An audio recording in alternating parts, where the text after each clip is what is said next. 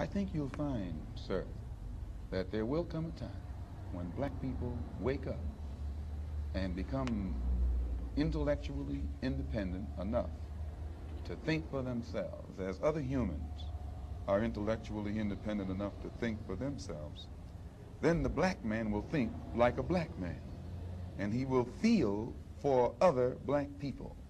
And this new thinking and feeling will cause black people to stick together. And then at that point, you'll have a situation where when you attack one black man, you are attacking all black men. And this type of black thinking will cause all black people to stick together.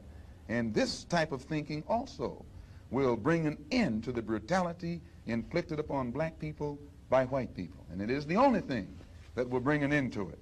No federal court, state court, or city court will bring an end to it. It's something that the black man has to bring an end to himself. Minister Malcolm